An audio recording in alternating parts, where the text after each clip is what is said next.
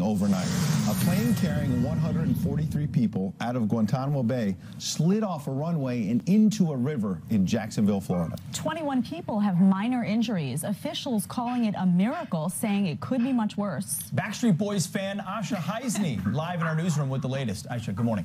Yeah, good morning to you. Yeah, this is just coming in this morning. Boeing says they're providing technical assistance now at the request of the NTSB, which, by the way, has now sent a team to the scene to start investigating. This Boeing 737 charter flight you're looking at right there is operated by Miami Air International. It was en route from Guantanamo Bay, Cuba, and landing at Naval Air Station Jacksonville. That's a military airport at the Jacksonville Naval Complex. Now, officials say the plane plane slid off the runway and then went right into the St. Johns River. The Jacksonville Sheriff's Office says the plane landed in shallow water but was not submerged. Now, 21 adults were transported to local hospital. This, according to a tweet by the Sheriff's Office here. Uh, they were transported by Jackson Fire and Rescue. All of them are listed in good condition. No critical injuries. Over 80 fire and rescue members responded to this. Amazing response and work. JFR RD uh, hashtag teamwork. Unfortunately, we're hearing that there were some pets on board. Uh, they have not yet been retrieved this morning because of safety issues with the aircraft. Overall, though, officials breathing a huge sigh of relief. It is a miracle. We could be talking about a different story this evening, so I think there's a lot to say about, uh, you know, the professionalism of the folks that helped the passengers off the airplane. It very well could be worse. Okay, so here's what we know about the plane. It's called the Rotator. It's a charter flight that ferries military personnel, contractors, and family members on and off the military bases. Jacksonville Mayor Lenny Curry said teams were working overnight to contain fuel spilling into the water there, and he's getting a lot of support. He tweeted this um, earlier in the evening. Uh, the real at real Donald Trump White House called to help as the situation was developing. And guys, listen to this. You won't believe this. Jacksonville Fire and Rescue said, ironically, their special operations team had just trained for an incident just like this one with their Marine units earlier in the day. Can you believe that? Wow. wow. What an amazing wow. coincidence. Glad they did. Thank you, Aishah. Training's important. You never know. No, I've actually, I served in Guantanamo Bay for a year. I've taken flights like that. Usually they're smaller mm. puddle jumpers if you're going in and out for leave, but when they're moving a lot of people, mm -hmm. uh, they'll do that quite regularly. So, I mean, listen, the runway at Gitmo is great. The runway in Jacksonville is great. Something must have gone wrong, and we're, we're hoping everybody's okay. Can I make my plea to get those animals out of cargo immediately? President Trump, if you are listening, get the animals out of cargo. They are, shouldn't be in there to begin with. Yeah. It's not good conditions. We don't need them overheating and suffocating. Please get the animals out of cargo. Thank Absolutely. you. Absolutely. We knew Jed would say that. Absolutely. And uh, that's important as well. But also, let's not forget Boeing has had some safety problems. A lot of big issues recently. We're going to dig a little deeper later this hour. Oliver McGee, former U.S. Deputy Assistant Secretary of Transportation, be here 6.30 a.m. Eastern Time, so we'll dig deeper on that. Yeah. Sure In the meantime, big news. Big news. The economy is roaring. And the, the cover of the New York Post this morning says America's working. Lowest jobless rate since 1969. Here's the April jobs report. We talked about it yesterday. They talked about it. Brian Stevens Ainsley yesterday on Fox and Friends. The job number much larger than anyone expected. 263,000 jobs added in April alone.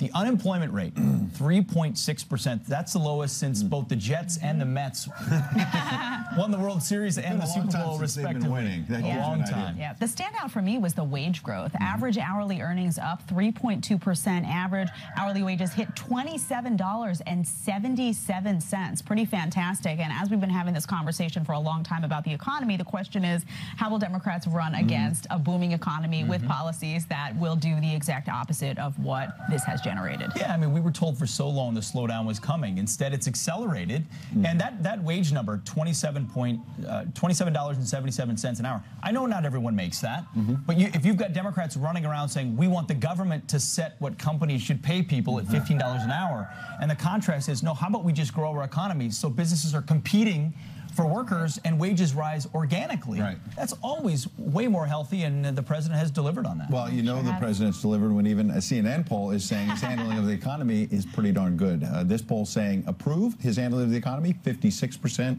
disapprove, 41%, no opinion, 3%. Well, someone who has an opinion is Larry Kudlow, of course, uh, a close advisor to the president inside the White House, and he said this is now far beyond anyone's expectations. Watch.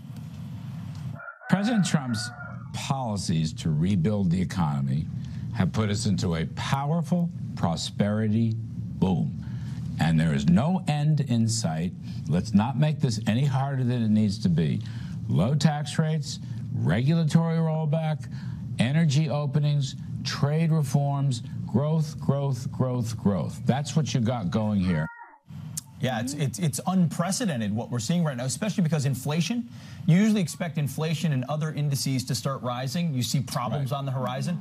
Inflation at almost historic lows, very much at a manageable level. And so, if you're an opponent of this president right now, trying to put together an economic message, we talked about this earlier. All the, the statements put out by Democrats yesterday were like, "Yeah, it all looks good. It's good, pretty good, but you know, it's like the but people aren't believing the but part of it because they see this and and people are benefiting. Business is booming. They're also not living the butt part of it. They're living the reality. So if you have more, I always say, if you have more money in your pocket, if you're, if you got a raise, if you have kept your job, if you have gained a job, if you can send your kid to summer camp, or you can buy that extra gift for your kid's birthday, that's what translates to people. You notice there's only three percent in that survey when asked about the economy that had no opinion. That's because it's the lead issue for everyone. If you don't have money in your pocket, you don't have the time. As someone who didn't have money in her pocket for a long time, I can tell you, you don't have the time to think about other issues. You don't start thinking about climate change and all that other stuff that folks on the left often talk about. If you are broke, broke comes first. Or Russia, something like That's that. That's right. It's really true. Because you want to feel it in your bones. And obviously, you remember what James Carville said in 1992 it's the economy, stupid. That's, what right. Bill Clinton uh, wrote into office. President Trump looking to 2020, thinking, okay, the economy is very strong. That could be good for him.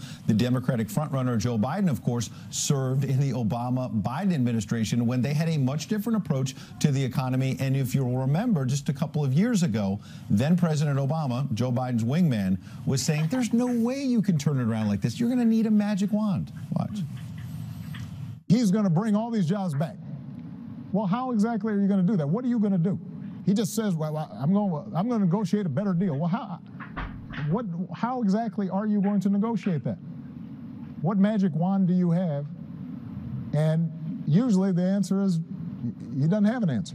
Well, maybe he has an answer now, one. And two, remember the key part of what President Obama was talking about at that time was you can't bring back the manufacturing jobs. They're gone. They're never coming back.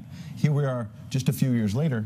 They're coming back I with wonder, if, I wonder if Joe Biden should put on a sign, uh, Obama's wingman, as you just pointed. I think that could work for him. Uh, Well, but then Obama. Well, that- oh, I thought it. that was Eric Holder.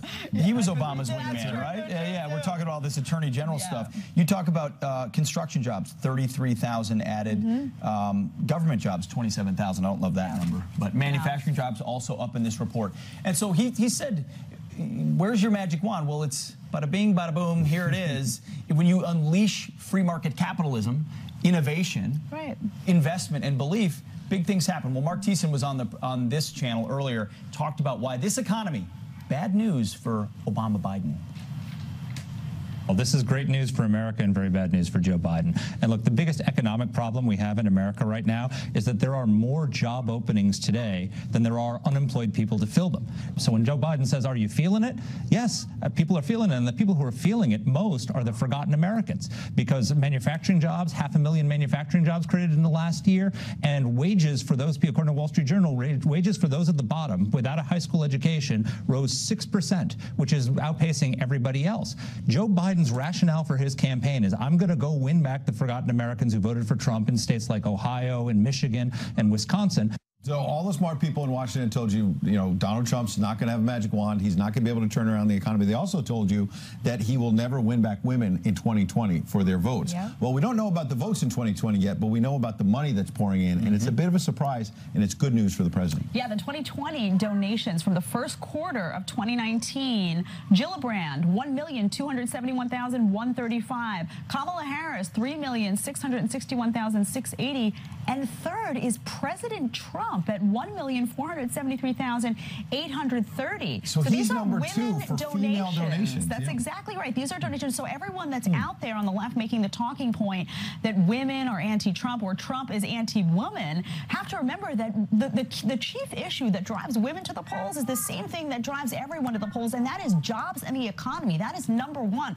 Women are working their small businesses. They are running those businesses. They are feeding their families. They're working two and three jobs sometimes to put food on the table.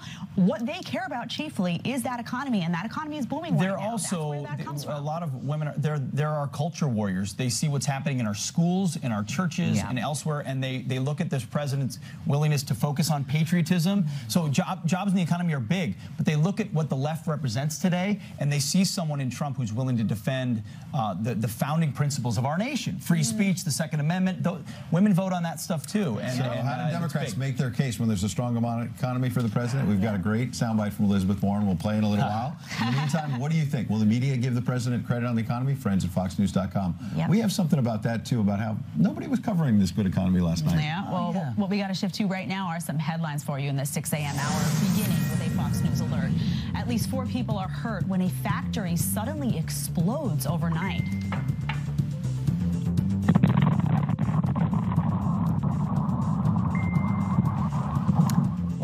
Surveillance video capturing the ground shaking blast at a silicone plant outside Chicago.